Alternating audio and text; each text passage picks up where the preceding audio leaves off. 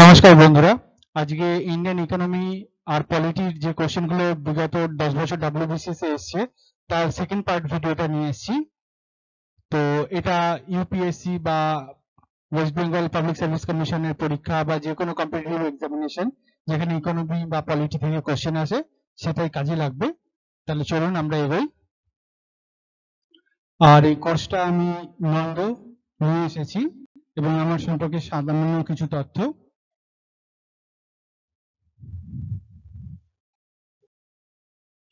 আজকে প্রথম প্রশ্ন হচ্ছে, ভারতে কোন রাজ্য প্রথম লোকায়ুক্ত নিযুক্ত করেছে? উত্তর হচ্ছে মহারাষ্ট্র। এই লোকায়ুক্ত চ্যাপ্টার থেকে সাধা- সাধারণত কোশ্চেন দুই রকমই আসে। যে কোন রাজ্য প্রথম লোকানিযুক্ত নিযুক্ত করেছে বা কোন রাজ্য দ্বিতীয় করেছে? এবং আরেকটা হচ্ছে যে সর্বপ্রথম বিশ্বে কোন দেশে এই ধরনের লোকায়ুক্ত বা সেই দেশের যে নামটা ছিল অম্বুডসম্যান সেটা কোথায় হয়েছে? এই চ্যাপ্টার থেকে এই তিনটে প্রশ্নই আসে। তো এই বিষয়ে আমি ছোট্ট একটা ধারণার জন্য এই একটা স্টাডি নোটস দিয়েছি। অবশ্যই এটা একটা বই থেকে নেওয়া এবং আমার নিজস্ব কিছু এর মধ্যে যোগ আছে। আর এই প্রশ্নগুলো যেহেতু বাংলায় রয়েছে, বাংলা এবং ইংরেজি দুটোই পিডিএফ ভার্সন করে আমি দিয়েছি। আপনারা ডাউনলোড করে নেবেন। তো প্রথম এই ইনস্টিটিউশনটা অম্বুডসম্যান অর্থাৎ জনগণ নিজের যে ক্ষোভ হচ্ছে বা অসুবিধা হচ্ছে, সেইটা বিষয়ে জানাতে পারে। তার জন্য একটা ইনস্টিটিউশন যেটাকে অম্বুডসম্যান নামে আঠারোশো নয় সালে তৈরি হয় সুইডেন দেশে। ইন্ডিয়ান অ্যাডমিনিস্ট্রেটিভ রিফর্ম কমিশন যেটা সংক্ষেপে বলা হয় এআরসি নাইনটিন সিক্সটি সিক্স যখন তৈরি হয়, তখন এইরকম একটা অম্বুডসম্যান টাইপের ইনস্টিটিউশন খোলার জন্য এই কমিটি রেকমেন্ড করে, যেটা লোকপাল এবং লোকায়ুক্তা নামে পরিচিত। লোকপালটা কি হবে? যেখানে স্টেটে এক, প্রত্যেক সেন্ট্রাল ক্ষেত্রে একটা আর প্রত্যেক স্টেটে থাকবে। লোকপাল শুধুমাত্র মন্ত্রী এবং সেক্রেটারি অর্থাৎ বিভিন্ন দপ্তরের সচিবদের বিরুদ্ধে যে অভিযোগ কমপ্লেন্ট আসবে, সেটাকে দেখবে। আর এই ভারতের ক্ষেত্রে যেটা জুডিশিয়ারি অর্থাৎ জাজদের এই লোকায়ুক্তার পারভিউ অর্থাৎ লোকায়ুক্তার ক্ষমতার বাইরে রাখা হয়েছে, অর্থাৎ তাদের বিরুদ্ধে কোনো অভিযোগ হলে সেটা যেরকম সংবিধানে বর্ণিত আছে, সেইভাবে কাজ হবে। এই লোকপাল বা লোকায়ুক্ত কিছু করতে পারবে না। আচ্ছা এই বিষয়ে এখনও অবধি আটবার চেষ্টা করা হয়েছে যাতে লোকপাল বিলটা পাস হয় এবং সেন্টারে এবং বিভিন্ন স্টেটে তার লোকপাল ইনস্টিটিউশনটা স্থাপন করা যায়। কিন্তু আটবারই এটি লোকসভায় বিলটি ফেল হয়ে যায়। তার কারণ লোকসভা পাঁচ বছর চলে যাওয়ার পরেও এই বিলটাকে পাস করার মতন লোকসভার কোনো উদ্যোগই দেখা যায়নি। আর লোকায়ুক্তার ক্ষেত্রে কি হয়েছে? যে বিভিন্ন স্টেট লোকায়ুক্ত নিযুক্ত করেছে, যেমন এখানকার প্রশ্নটি মহারাষ্ট্র অন্ধ্রপ্রদেশ দেখা যাচ্ছে। কিন্তু লোকায়ুক্তার চাকরির শর্ত, সময় বিভিন্ন স্টেট অনুযায়ী ভ্যারি করে, অর্থাৎ কোনো একতা নেই এর মধ্যে। পরের প্রশ্ন হেভিয়াস কর্পাস শব্দটির সঠিক ব্যঞ্জনা, অর্থাৎ সঠিক অর্থটা কি হবে? এখানে অপশন হচ্ছে বি কোনো ব্যক্তিকে সশরীরে উপস্থিত করা। তো এটা হচ্ছে ফান্ডামেন্টাল রাইটস অর্থাৎ কিনা মৌলিক অধিকার যেটা ভারতীয় সংবিধান তার প্রত্যেকটি নাগরিককে দিয়েছে, সেই সেই অধিকার যদি ভগ্ন হয় বা ভঙ্গ হয় সেই অধিকারকে রক্ষা করবে supreme court under article thirty two অথবা article two hundred twenty six under high courts তো এক্ষেত্রে এই কয়েকটা ব্যাপার আছে যেগুলো আমি পরপর পরপর আলোচনা করেছি। এখান থেকে প্রশ্ন আসে এবং কি কি প্রশ্ন আসে সেগুলো আমি আন্ডারলাইন করে দিয়েছি। তো হেভিয়াস কর্পাস কথাটা একটা ল্যাটিন শব্দ। এর অর্থ হচ্ছে টু হ্যাভ দ্য বডি অর্থাৎ কোনো ব্যক্তিকে সশরীরে উপস্থিত করা। এটা কোর্ট কোনো মানুষকে বা কোনো সরকারি অথরিটিকে এটা দিতে পারে, আদেশটা দিতে পারে। এর মানেটা কি হলো? যে আমি যদি কোনো ব্যক্তিকে আটকে রাখি, কোর্ট আমাকে অর্ডার দিতে পারে, সেই ব্যক্তিকে আমি রিলিজ করে কোর্টের সামনে উপস্থিত করি। বা যদি পুলিশ আটকে রাখে বা কোনো সরকারি দপ্তর বা কিছু একটা বিষয়ে আটকানো থাকে, তাহলে সেই দপ্তর যেন কোর্টের সামনে সেই ব্যক্তিকে উপস্থিত করে। এইটা হচ্ছে ব্যাপার। এটা সাধারণ মানুষের ক্ষেত্রে এবং সরকারি কর্তৃপক্ষের ক্ষেত্রে ইস্যু করা যায়। পরেরটা হচ্ছে ম্যান্ডামাস। ম্যান্ডামাসের কথাটা মানে হচ্ছে উই কমান্ড। এটা মনে রাখার উপায় হচ্ছে ম্যান্ডামাস অর্থাৎ ম্যান শব্দের মধ্যে কমান্ড শব্দের একটা মিল পাওয়া যাচ্ছে। অর্থাৎ এখানে কোর্ট অর্ডার দিচ্ছে কোনো অফিসিয়ালকে সেই কাজ করার জন্য যেটা তার ডিউটি, কিন্তু সে করছে না। বা কোনো নিম্ন কোর্ট বা কোনো গভর্নমেন্ট অথরিটিকে দেওয়ার জন্য। এটা কিন্তু সাধারণ মানুষকে দেওয়া যাবে না। এটা শুধুমাত্র সরকারি অথরিটি বা কোনো কোর্টকেই হাইকোর্ট বা সুপ্রিম কোর্ট এই অর্ডারটা দিতে পারে। প্রহিবিশন প্রহিবিশন কথাটার সঙ্গে একটা প্রহিবিট অর্থাৎ কিনা নিষিদ্ধ। যেমন সতীদাহ প্রথা নিষিদ্ধ হয়েছিল সেরকম ভাবে প্রহিবিট করা। ম্যান্ডামাস কথাটা হচ্ছে, আমি করতে অর্ডার দিচ্ছি আর প্রহিবিশন কথাটার মানে হচ্ছে যে আমি করতে না বলছি।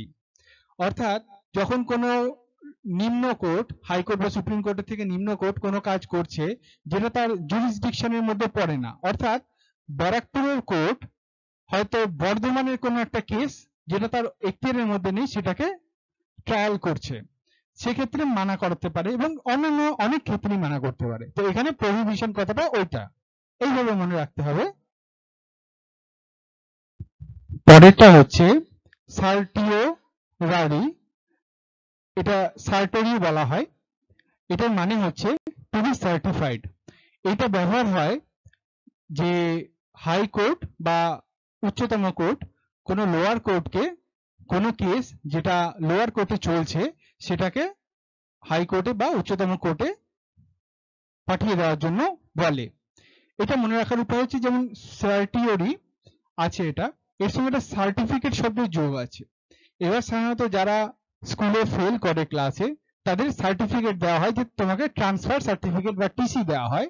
এটাও কিছুটা ওই ধরনের ভাবেই আপনাকে মনে রাখতে হবে। সার্টিফিকেট সঙ্গে সার্টিফিকেট কথাটা যুক্ত, আর সার্টিফিকেট মানে ট্রান্সফার সার্টিফিকেট পরের পয়েন্ট হচ্ছে কো ওয়ারেন্টো এর মানে হচ্ছে by which authority or warrant এটা সাধারণত ব্যবহার করা হয় যখন কোনো ব্যক্তিকে অবৈধভাবে বা কোনো ব্যক্তি অবৈধভাবে বা যোগ্যতাহীনভাবে কোনো পদ দখল করে। একটা উদাহরণ দিয়ে আপনাকে বোঝাই। যখন ইন্দিরা গান্ধীর সময়ে এমার্জেন্সি চলছিল, তো এমার্জেন্সি বিরুদ্ধে যখন কেস হয়, ইন্দিরা গান্ধী স্টেটসম্যান ছিলেন, তো তিনি এটা বুঝতে পেরেছিলেন এটা হবে। তিনি তার পছন্দের লোকটিকে পরপর তিনটে সুপিরিয়র মানে সিনিয়র জাজ যারা রয়েছে, বয়স অনুযায়ী, অভিজ্ঞতা অনুযায়ী তাদেরকে সুপারসিড করে তার পছন্দের মানুষটাকে চিফ জাস্টিস বানিয়ে দিলেন। তাহলে কি হলো? এইটার মানে হচ্ছে যে আমি কোনো বিশেষ ব্যক্তির খুব পছন্দের লোক এবং আমার ওপরে আমার থেকে বেশি যোগ্যতা সম্পন্ন লোক থাকা সত্ত্বেও আমি সেই পদটা পেয়ে গেলাম যেটা বেশি যোগ্যতা সম্পন্ন লোকটা পাচ্ছে না। এইটা হচ্ছে কু ওয়ারেন্টো এর বিরুদ্ধে আমি যাদের সুপারসিড করলাম, অর্থাৎ ওভারটেক করে পোস্টটা পেলাম তারা যদি হাইকোর্টে বা সুপ্রিম কোর্টে কেস করে সুপ্রিম কোর্ট তখন এই বিষয়ে ট্রাই করবে ট্রায়াল চালিয়ে দেখবে যে যারা ক্লেম করছে তাদের কথা কতটা ঠিক। এটা ওই ক্ষেত্রে ব্যবহার হয়। কিন্তু ওই কোর্টে যে ব্যাপারটা হয়েছিল সুপ্রিম কোর্টে অর্থাৎ চিফ জাস্টিস একজন কম যোগ্যতা সম্পন্ন ব্যক্তিকে করা হলো, সেখানে কিন্তু এই কোয়ারেন্টটা হয়নি। তার কারণ হচ্ছে যে আমি কমপ্লেনটা করব কার কাছে? সুপ্রিম কোর্টে চিফ জাস্টিসের কাছে। এবং কমপ্লেনটা কার বিরুদ্ধে? চিফ জাস্টিসের বিরুদ্ধে। অর্থাৎ নন্দর বিরুদ্ধে নন্দর কাছেই কমপ্লেন এসছে। তো কাজ কি হবে? তো এটা নতুন ব্যাপার না। এরকম মাঝে মাঝে দেখা যায়। এবার হচ্ছে আর্টিকেল থার্টি থ্রি এটা একটু ইম্পর্টেন্ট ব্যাপারটা আমি রেখেছি। এটা এই কারণে যে পুলিশ মিলিটারি বা সিআরপিএফ বা প্যারামিলিটারি ফোর্স রয়েছে বা ইন্টেলিজেন্স এজেন্সি রয়েছে, তাদের কিন্তু এই সুযোগগুলো প্রাপ্ত নয়। অর্থাৎ কোয়ারেন্টো সার্টিওরি, ম্যান্ডামাস, এগুলো তারা পায় না এবং তাদের ফান্ডামেন্টাল ও রেস্ট্রিক্ট করা থাকে। অর্থাৎ কি না ফান্ডামেন্টাল রাইটস এর মধ্যে স্ট্রাইক করা একটা রাইটস আপনি আপনার বিরোধ প্রদর্শন করতেই পারেন। কিন্তু যদি এখন দেশের সীমা নেই মিলিটারিরা বলে যে আমরা স্ট্রাইক করে দেব তাহলে তো দেশের সুরক্ষা খতরায় পড়ে যাবে। সেই জন্য এগুলো তাদের দেওয়া হয় না, যে তাদের ফান্ডামেন্টাল রাইটস আছে খুব রেস্ট্রিক্টেড এবং সেখানে কোর্ট কোনো ইন্টারফেয়ার করতে পারে না।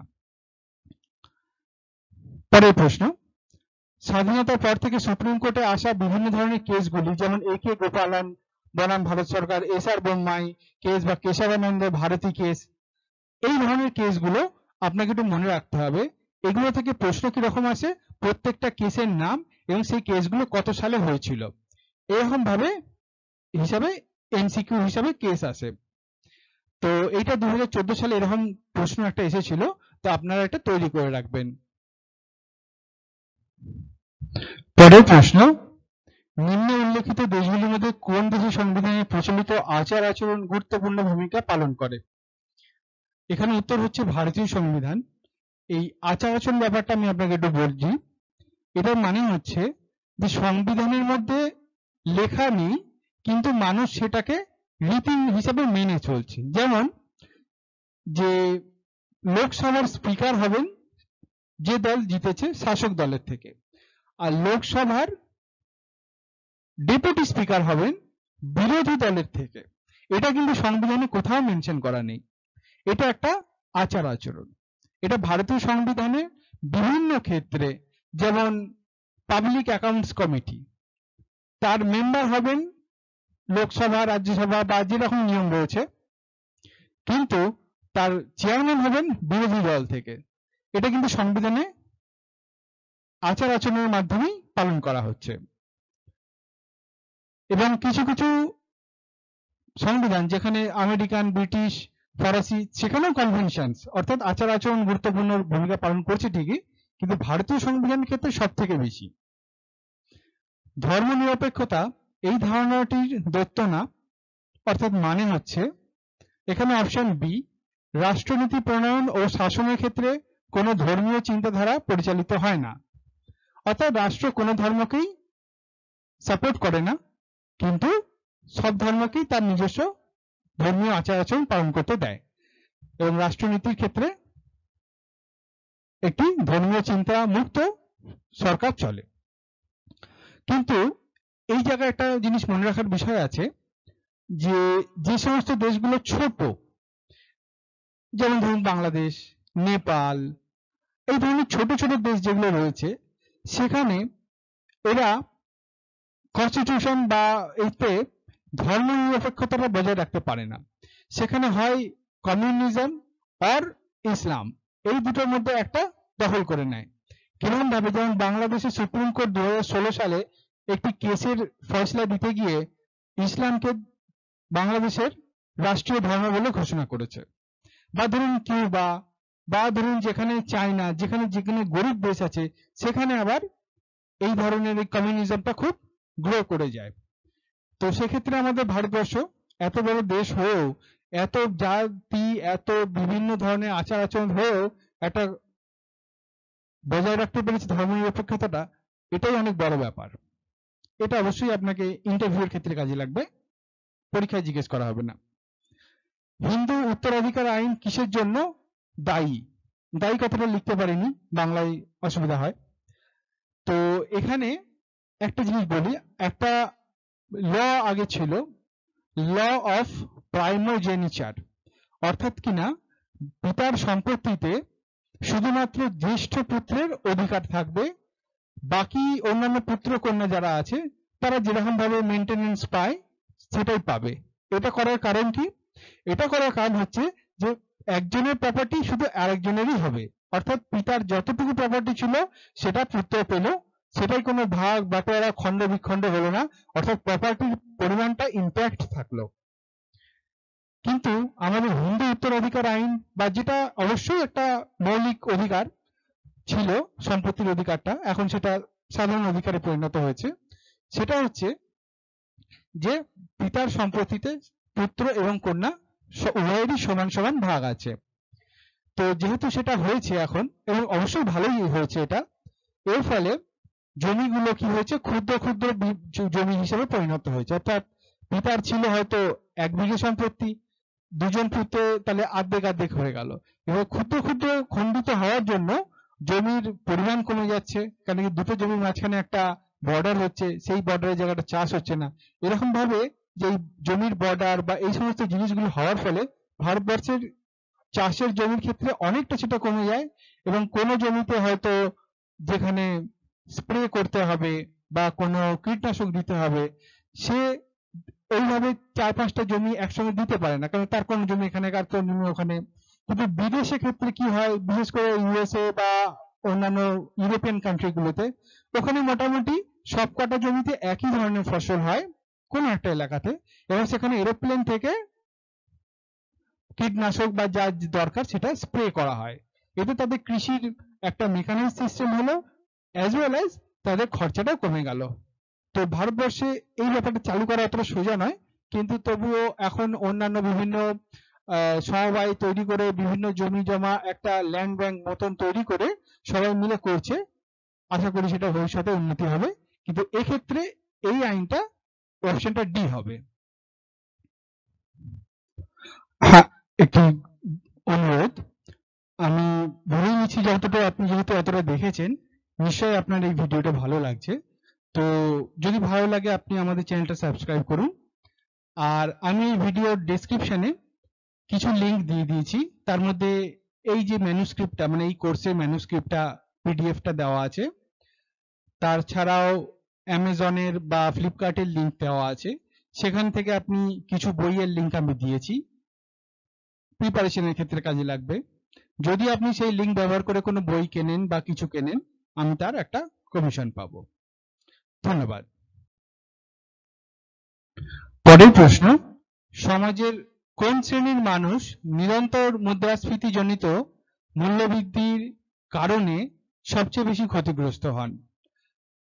মুদ্রাস্ফীতি ব্যাপারটার ধারণাটা আমি একটু দিয়ে দিই, আর আমি খুব শীঘ্রই এই ধরনের কোর্সগুলো নিয়ে আসছি যেখানে ইকোনমির বিভিন্ন টার্ম যেমন ইনফ্লেশন ডিফ্লেশন অর্থাৎ মুদ্রাস্ফীতি বা বিমুদ্রীকরণ বা এই ধরনের ব্যাপারগুলো আলোচনা হবে। আপনি সাবস্ক্রিপশন থাকলে আপনি অবশ্যই অ্যালার্ট পাবেন। তো এক্ষেত্রে উত্তর হচ্ছে, স্থির উপার্জনকারী মানুষজন। নিরন্তর মুদ্রাস্ফীতি মানে কন্টিনিউয়াস ইনফ্লেশন এবার মুদ্রাস্ফীতি জিনিসটা কি? মুদ্রাস্ফীতি ব্যাপারটা হচ্ছে, মানুষের হাতে টাকার যোগানটা বেড়ে যাওয়া। অর্থাৎ যে মান ডিমান্ড এবং সাপ্লাই অর্থাৎ কিনা চাহিদা এবং যোগান, এই হিসাবেই অর্থনীতির মূল ব্যাপারটা ঘুরতে থাকে। তো চাহিদা মানুষের আছে, তার বিভিন্ন চাহিদা থাকে খাওয়া পড়া সবকিছু এবং সাপ্লাই এবং সেই চাহিদাটা পূরণ করার জন্য যে সাপ্লাইটা আসে একটা উদাহরণ হচ্ছে প্রত্যেক বছর পুজোর সময় পেঁয়াজের দাম খুব পরিমাণে বেড়ে যায়। তার কারণ হচ্ছে পেঁয়াজ ততক্ষণে বিগত বছরের পেঁয়াজটা ধীরে ধীরে শেষ হতে থাকে বা কোনো জায়গায় বন্যা ইত্যাদি হয়ে গেলে সেই জায়গা থেকে পেঁয়াজের সাপ্লাই আমাদের বাজারে আসতে পারে না বা কিছু কিছু লোক আছে পেঁয়াজের সাপ্লাইটা কমিয়ে দেয়। অর্থাৎ কিনা ডিমান্ড রয়েছে একশো কেজি পেঁয়াজের, সেখানে বাজারে এসছে মাত্র পঞ্চাশ কেজি। যে কারণেই হোক, তখন কি হবে? তখন ওই পেঁয়াজের দামটা বেড়ে যায়। এর ফলে কি হয়? সেই পেঁয়াজের দামটা বেড়ে যাওয়ার ফলে যেটা একশো কেজি পেঁয়াজের জন্য হয়তো এক হাজার টাকা মানে খরচা হতো, সেই জায়গায় বাজারে চলে আসলো দু হাজার টাকা। এর ফলে কি টাকাটা বেড়ে গেল জনগণের হাতে বা ব্যবসায়ীদের হাতে। এবং সেই ব্যবসায়ীরা তারা বেশি প্রফিট করতে শুরু করল। এইভাবে যখন টাকার পরিমাণটা জন মানে গণের হাতে বেড়ে যায় এবং জিনিসপত্রের মূল্য তখন আরও বৃদ্ধি পায়। তো এই ব্যাপারটাকে যদি চলতে থাকে, তাহলে ব্যবসার ক্ষেত্রে বা ইনভেস্টমেন্টের ক্ষেত্রে খুবই অসুবিধা হয়। কীভাবে হয়? যেমন ধরুন একটা ইনভেস্টর যখন কোনো জায়গায় কোনো একটা ফ্যাক্টরি খুলবে ইনভেস্টমেন্ট করবে, সে আগে দেখে নেয় যে এখন কারেন্ট মুদ্রাস্ফীতি কি রেট রয়েছে, জিনিসপত্রের দাম কেন কি সে একটা সাপ্লাই কিনবে সেইটা প্রসেস করে একটা প্রোডাক্ট বানাবে, তারপর সেটা সে বাজারে বেচবে। এবং তার মধ্যে তাকে ওই যে জমিটা নেবে তার মূল্য দিতে হবে, যে মেশিনারি আছে তার পয়সা দিতে হবে, যে শ্রমিকরা কাজ করবেন তাদের মাইনে দিতে হবে, সবকিছু তার হিসাব থাকে। কিন্তু মুদ্রাস্ফীতি যদি ক্রমশ বাড়তে থাকে, তাহলে কি হবে? মুদ্রাস্ফীতি বাড়লে জিনিসপত্রের দাম বাড়বে। জিনিসপত্রের দাম বাড়লে তার কাঁচামাল কেনার দামটা বেশি লাগবে। কাঁচামাল যখনই তার বেশি লাগবে, তখন জন- যারা ওর শ্রমিক রয়েছেন, তারাও ডিমান্ড করবে বেশি টাকা দাও, কারণ কি তাদের কম মাইনেতে হচ্ছে না। এর ফলে কি দাঁড়াচ্ছে? তাকে ইনভেস্টমেন্ট করতে হচ্ছে অনেক বেশি এবং তারপরে যে সে প্রোডাক্টটা তৈরি করে মার্কেটে ছাড়ছে, সেটা কীরকম বিক্রি হবে, কি হবে, সেটার একটা অনিশ্চয়তা থাকে। সেই জন্য মুদ্রাস্ফীতি অনেক ক্ষেত্রেই কাম্য নয়। আবার কিছু কিছু ক্ষেত্রে গভর্নমেন্ট চায়ও যে মুদ্রাস্ফীতি হোক। মুদ্রাস্ফীতি মানে অর্থনৈতিক অগ্রগতির কিন্তু একটা সূচক হিসেবে মাঝে মাঝে ধরা হয়। তো যে কারণেই হোক, আমার মাইনে দশ হাজার টাকা আমার মাইনে কুড়ি হাজার টাকা। এবং সেখানে দেখা যাচ্ছে যেটা আমি আগে আঠারো হাজার বা উনিশ হাজার আমার মাস চলে যেত, কিন্তু জিনিসপত্রের দাম বেড়ে যাওয়ার ফলে আমার খরচা হয়ে গেল সাতাশ, আঠাশ হাজার টাকা। কিন্তু মাইনে আমার আঠাশ বা কুড়ি হাজার টাকায় আমি চালাতে পারছি না। সব থেকে বেশি ক্ষতি হয় স্থির উপার্জনকারী মানুষজনের। আর ব্যবসা বাণিজ্য যারা করেন, তারা তো জিনিসপত্রের দাম বেড়ে গেলে তারাও জিনিসপত্রের দাম বাড়িয়ে দেন। বিনিয়োগকারী শ্রেণি, তাদের ক্ষতি হয় না, কারণ তারা সেই সময় বিনিয়োগটা বন্ধই করে দেয়। আর স্বনির্ভর গোষ্ঠীর মানুষজন যারা রয়েছেন, তাদেরও একই ব্যাপার কারণ তারাও কাঁচামাল কারোর থেকে কিনছেন এবং তারাও প্রসেস গুড কাউকে বিক্রি করছেন। তো এই ক্ষেত্রে সব থেকে বেশি ক্ষতি হয় ডি অপশন পরের প্রশ্ন, মূলধন কাকে বলে? তো আমি বিভিন্ন ক্যালেন্ডারে ছোটবেলায় দেখা, দেখতাম, লেখা থাকতো, সততাই একমাত্র মূলধন। তো সেক্ষেত্রে এটা এখানে হবে না। এখানে হচ্ছে সি অপশন মূলধন হলো উৎপাদনের উৎপাদিত। আরও দু একটা শব্দ ছিল বাংলায় লেখা যায়নি। আপনি একটু ইংলিশ পিডিএফটা দেখে নেবেন। দুটো একই ভার্সনে আছে একই পিডিএফ এর মধ্যে। তো এখানে মূলধনের ব্যাপারটা একটু আপনাকে বোঝানোর ব্যাপার আছে। সেটা হচ্ছে আহ, এটা ছোট্ট এই ভিডিওটার মধ্যে হবে না। এটা একটা কনসেপ্ট আমি আলাদা করে দেব। জাস্ট কিছুদিন ওয়েট করে যান। পরের প্রশ্ন নিম্ন বর্ণিত কোনটি ভারতের ভবিষ্যৎ শিল্পোন্নয়নের ক্ষেত্রে সব থেকে বেশি গুরুত্বপূর্ণ?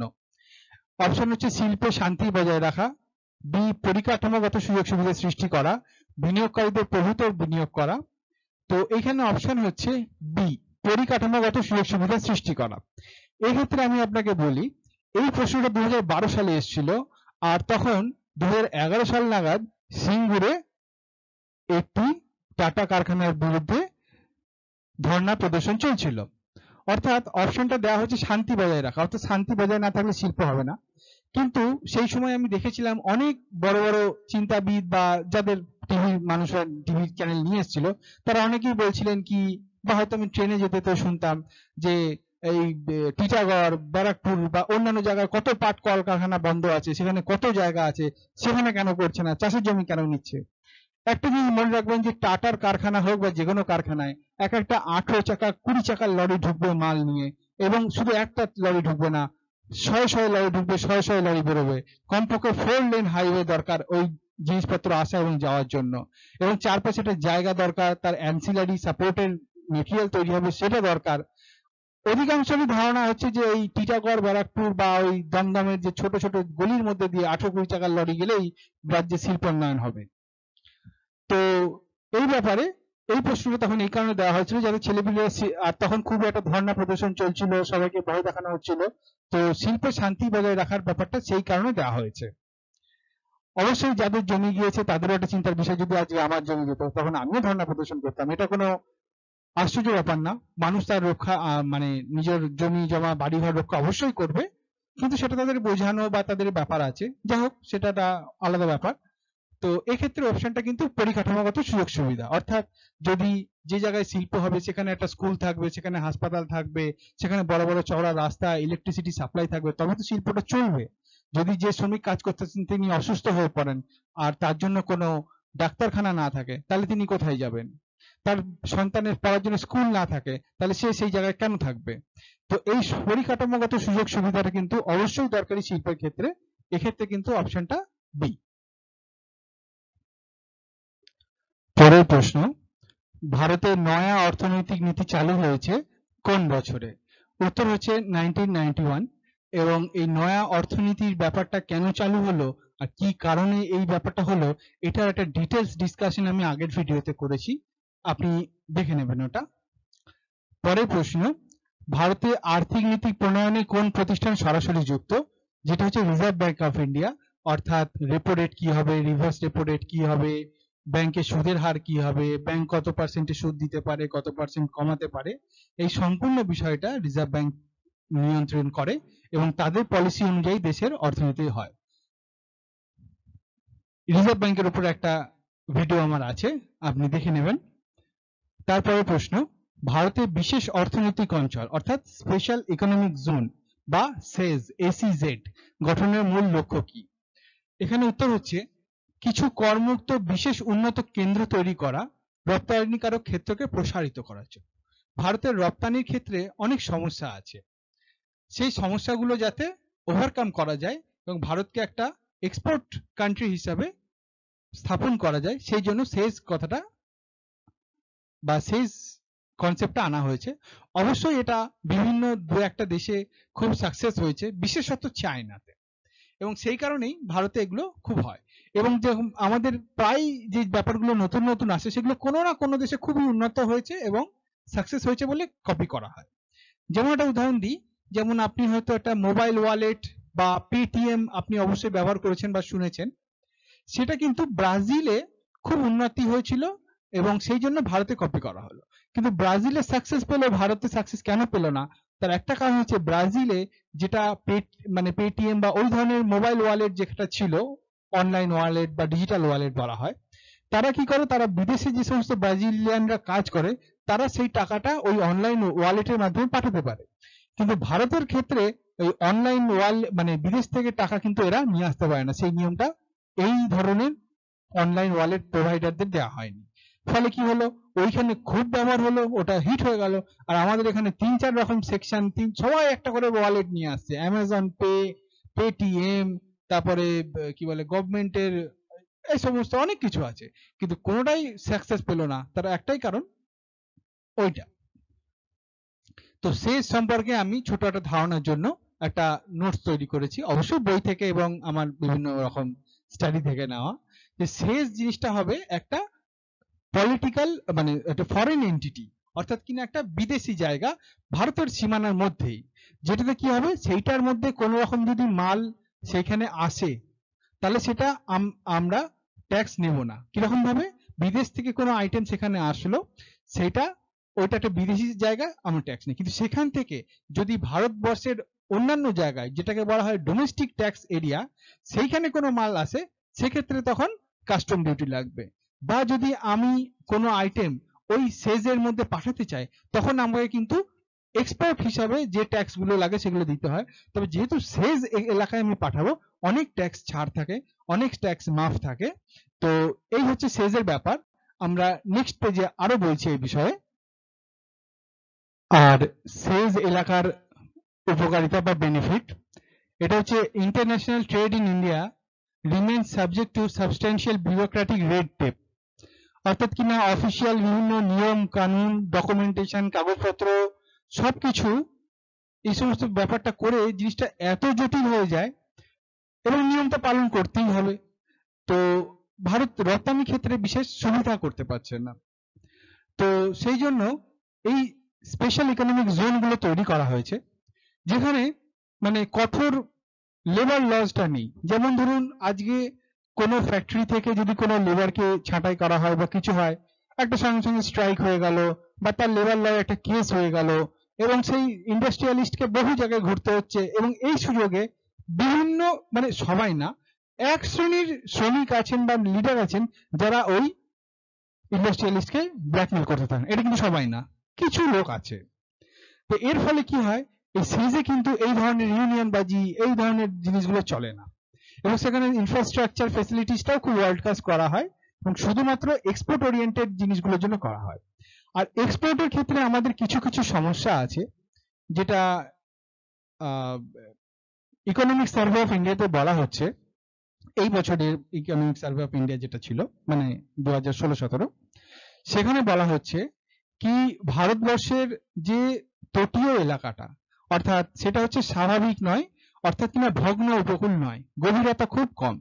সেখানে ডিপ সি পোর্ট মানে গভীর সমুদ্র বন্দর তৈরি সম্ভব হয়নি। তার ফলে কি হচ্ছে? ভারতবর্ষ থেকে একবারে প্রচুর আইটেম বেরোতে পারে না। কি হয়? বিভিন্ন জায়গা থেকে কালেক্ট করে করে করে এটা প্রথমে শ্রীলঙ্কায় নিয়ে যাওয়া হয়। শ্রীলঙ্কায় একটা ডিপ সি পোর্ট আছে। সেখানে বড় বড় জাহাজ আসতে পারে। সেখান থেকে যায়। তাছাড়া যেমন ভারতে প্রচুর অ্যাপারেল মানে জামা কাপড় তৈরি হয়। কিন্তু সমস্যাটা হচ্ছে ভারত হচ্ছে ডেভেলপিং কান্ট্রি তো ইউএসএ বা যে সমস্ত ট্রেড ইউনিয়নগুলো রয়েছে, যেমন ইউরোপিয়ান ট্রেড ইউনিয়ন ইউএস এর যে ট্রান্স প্যাসিফিক পার্টনারশিপ এখানে যারা রয়েছে, তারা দেশগুলোকে অনেক কয়েকটা ভাগে ভাগ করেছে। এটা লিস্ট ডেভেলপড কান্ট্রি আর একটা হচ্ছে ডেভেলপিং কান্ট্রি এবং ডেভেলপিং কান্ট্রি থেকে যখন জামা কাপড় বা এই সমস্ত সুতি বস্ত্র যাবে, তার একটা নির্দিষ্ট কোয়ান্টিটি আছে, তার বেশি যেতে পারবে না। আর যেটা আমাদের মানে ডেভেলপ লিস্ট ডেভেলপড কান্ট্রি যেমন বাংলাদেশ সেখান থেকে এইরকম কোনো রেস্ট্রিকশন নেই। প্রচুর একসঙ্গে যেতে পারে জিনিসপত্র এবং তাতে কোনো ট্যারিফ ব্যারিয়ার নেই। ট্যারিফ মানে কি? টাকা পয়সার আর নন ট্যারিফ মানে হচ্ছে যে কোয়ান্টিটি মানে কত পরিমাণ জামা এক হাজার পিস জামা এক হাজার পিস কাপড় এই সমস্ত। আপনার মনে থাকবে যে আহ, সম্ভবত গত বছরেই একটা খুব দুঃখজনক ঘটনা ঘটেছিল বাংলাদেশে। কিছু জঙ্গি মানে আমাদের ওই একটি বাংলাদেশের বিশেষ জায়গাতে মানে বাংলাদেশটা আমাদের নয় অবশ্যই, তো বাংলাদেশের একটা বিশেষ কোনো মানে জায়গায় রেস্টুরেন্টে কিছু মানুষকে হত্যা করেছিল, যারা যারা একটি বিশেষ ধর্মের কিছু বাণী উচ্চারণ করতে পারেনি। তো তার মধ্যে যে ভারতীয় মেয়েটি মারা যায়, তার বাবা একজন কাপড় ব্যবসায়ী এবং তার সেখানে বড় ফ্যাক্টরি আছে এবং সে সেখানে মানে বিদেশে থেকে পড়তে এসে সেইবার সেখানে টাইমে ঘুরতে গিয়েছিল। অর্থাৎ আমার বলার তাৎপর্য এইটা যে ভারতবর্ষের প্রচুর ব্যবসায়ী যাতে এই ট্রেড আর ট্যারিফ ব্যারিয়ারটা না লাগে, সেই জন্য ওইখানে গিয়ে ফ্যাক্টরি এস্টাবলিশমেন্ট করছেন এবং ওইখান থেকে তারা এক্সপোর্টটা করছেন যাতে কি তাদের এই সমস্ত কোনো অসুবিধা না হয় এবং তারা বেশি টাকা ইনকাম করতে পারেন। এবং ভার- ভারতের থেকে বাংলাদেশ এখন একটা ওয়েল ডেস্টিনেশন হয়ে গিয়েছে যে শিল্প টানার ক্ষেত্রে, বিশেষ করে এই সমস্ত কারণে। তো এই ধরনের জিনিসগুলো উল্লেখ করা হয়েছে। অবশ্যই এই মানে দুঃখজনক ঘটনাটা উল্লেখ করা হয়নি মানে এটা বোঝানো হয়েছে। তো এটা আপনার পরীক্ষা হয়তো লাগবে না, কিন্তু আপনার ধারণা ক্লিয়ার করার জন্য এটা কাজে লাগবে। পরের প্রশ্ন, ভারতে কেন্দ্র ও রাজ্যের মধ্যে সম্পদ বিভাজনের ক্ষেত্রে কোন সাংবিধানিক ব্যবস্থা চালু আছে? এর উত্তর হচ্ছে ভারতীয় অর্থ কমিশন প্রত্যেক পাঁচ বছর অন্তর। আর্টিকেল টু সেভেন্টি ফাইভ এবং আর্টিকেল টু এইটি টু এই দুটো প্রশ্ন মাঝে মাঝেই আসে। তো এই বিষয়ে আমি আগের ভিডিওতে একটা ডিটেলস আলোচনা করেছি। আপনি দেখে নেবেন। অম্বুডসম্যান সংস্থা প্রথম প্রচলিত হয় সুইডেন। এখানে অপশন সি হচ্ছে উত্তর। পরের প্রশ্ন, সার্বভৌম শব্দটির সঙ্গে কোন অর্থটি সঠিক? অপশন এ বৈদেশিক নিয়ন্ত্রণ মুক্ত। কিন্তু এখানে দেখুন অপশন ডি যেটা রয়েছে সেটা অনেকটা কাছাকাছি দেওয়া হয়েছে। যে কোনো আন্তর্জাতিক সংস্থার নিয়ন্ত্রণ মুক্ত এটা আপনাকে কনফিউজ করার জন্যই দেওয়া হয়েছে। এটা উত্তর এ হবে।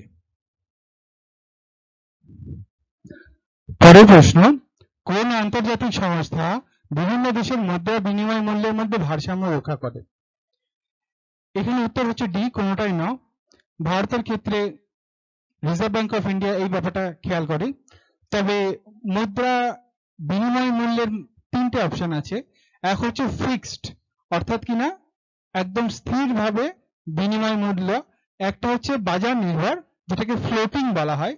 আর কিছু কিছু দেশ floating as well as fixed এই দুটোই ব্যবহার করে। তো আমি যে রিজার্ভ ব্যাংকের উপরে ভিডিওটা করেছি, আপনি দেখে নেবেন, ওর মধ্যে এই ব্যাপারগুলো ডিটেলসে আলোচনা করা আছে। তো আজকে প্রশ্ন এখানেই শেষ হচ্ছে। আর এই ভিডিওটা দেখার জন্য আপনাকে ধন্যবাদ। যদি আপনার ভালো লাগে, তাহলে আপনি সাবস্ক্রিপশন করতে পারেন। আর যদি আপনার মনে হয় আর কোনো বিষয়ে কোনো ভিডিও দরকার হয়, আমি ধীরে ধীরে আস্তে আস্তে অবশ্যই বানাবো। আপনি সেটা কমেন্টের মাধ্যমে জানাতে পারেন। ধন্যবাদ। শুভরাত্রি।